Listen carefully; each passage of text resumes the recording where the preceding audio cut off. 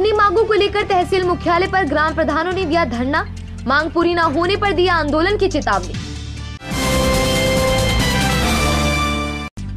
धामपुर में इलाहाबाद बैंक शाखा में पैसे न मिलने से नाराज़ लोगों ने बैंक मैनेजर के खिलाफ किया प्रदर्शन। धामपुर के हरलीन कौर और गरिमा बिंदल को रोहिलखंड विश्वविद्यालय के चौदहवीं दीक्षांत समारोह में किया गया सम्मानित। इन मेधावी छात्राओं को राज्यपाल राम नाईक ने किया सम्मानित। गन्ना सीज़न में सड़क दुर्घटनाओं से बचाव के लिए सिहारा शुगर मिल में गन्ना लाने वाले वाहनों पर लगाए गए radium reflector. CO Ashok Kumar Yadav ने लोगों को यातायात नियमों के प्रति जागरूक भी किया। नोटबंदी के बारहवें दिन बाद भी बैंकों के बाहर कम होने का नाम नहीं ले रही लोगों की भीड़।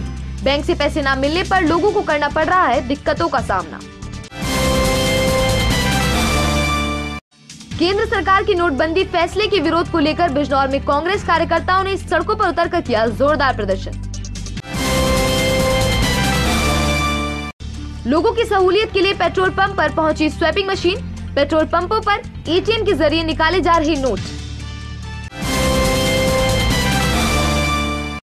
श्री गुरु नानक देव जी के प्रकाश पर्व के मौके पर नजीबाबाद के समीपुर में सिख समाज ने निकाली श्री गुरु ग्रंथ साहिब की पालकी और नगर कीर्तन।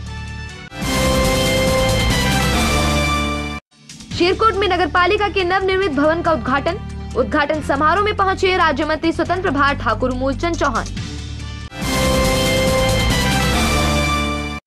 छोटे नोटों की किल्लत को देखते हुए कालागढ़ में आगे आए व्यापारी।